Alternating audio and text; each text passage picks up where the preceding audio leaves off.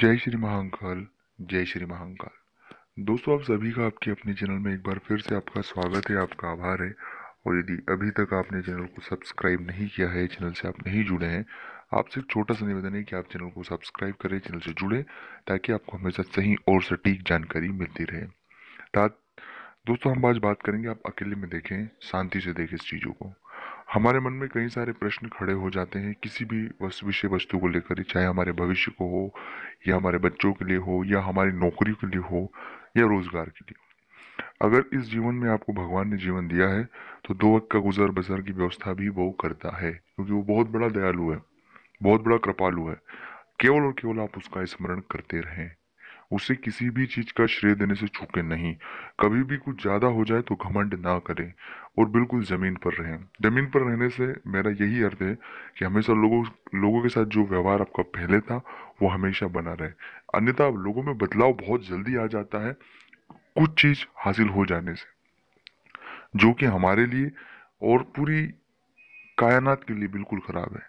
तो ये सबसे महत्वपूर्ण बात जो मैंने आपसे शेयर की। अब बात है दूसरी। अब इस जीवन मिला है तो ये जीवन काय के लिए मिला है। जब कोई व्यक्ति इस दुनिया को छोड़कर जाता है, उसकी आँखों में मुझे दिखाई देता है कि वो बहुत सारे राम का नाम लेना चाहता है। अपने ईश्वर का स्मरण करना चाहता है। पर ये वो कर ना सका क्योंकि उसके साथ जीवन में बहुत सारी ऐसी घटनाएँ, ऐसी चीज़ें दिखाई दी, जो चीज़ें, जो, जिन चीज़ों में वो बहुत उलझा रहा। तो एक ही आपसे निवेदन है कि आप अपने इष्ट का जप रोज ज़्यादा से ज़्यादा करें। जितना ज़्यादा आप इष्ट का जप करेंगे, उतना आपके लिए अच्छा रहेगा।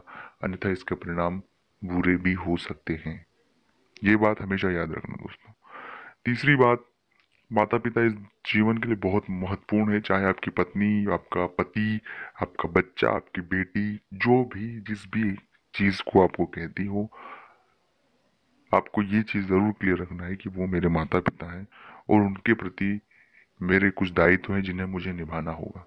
और वो आपको निभाना होंगे, चाहे जो भी हो। और ये बात अगर आपके मन में है तो बहुत सी चीज़ क्लियर होगी, किंतु परंतु नहीं होंगे। तो ये तीसरी बात थी। चौथी बात यह है कि आज के इस दौर में लोगों की बातों में सुनकर ना आए, सुनने ना, सुनकर कुछ गलत फैसले ना लें और न ही उत्तेजित हो जाए। आज का दौर बहुत क्रोध का दौर है, आज का दौर बहुत ज़्यादा अशांति का दौर है और कई बार हम छोटी छोटी चीज़ों को बहुत बड़ा पतंगड़ बना देते हैं और हमें उसका परेशानी झेलना पड़े। एक ही निवेदन है कि आप प्लीज़ इन चीज़ों को इग्नोर करें, इन चीज़ों को अलग रखें, क्योंकि यहाँ पर सबसे ज़्यादा महत्वपूर्ण ईश्वर का जब आपकी शांति, आपकी मन में जो एकाग्रता है वो बनी रहे और आप हमेशा मुस्कुराते रहे। इन बातों को यदि आप रखेंगे, जीवन में कभी दुखी नहीं होंगे।